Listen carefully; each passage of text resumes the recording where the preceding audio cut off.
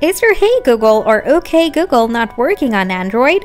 Hi there, this is Eve and today's video I'll walk you through 3 ways to solve Google Voice Assistants not working on Android mobile.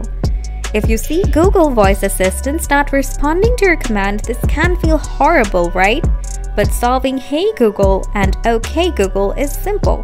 To solve your problem, make sure that you have speed and stable internet connection.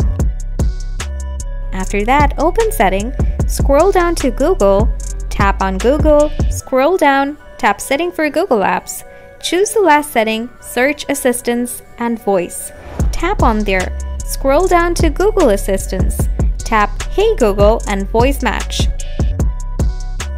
Tap Voice Model, tap Delete Voice Model, tap OK, tap OK again. Now enable Hey Google.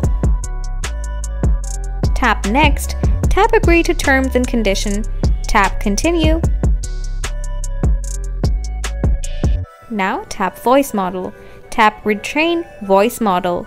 Now follow the instruction and set this up. Now tap Finish.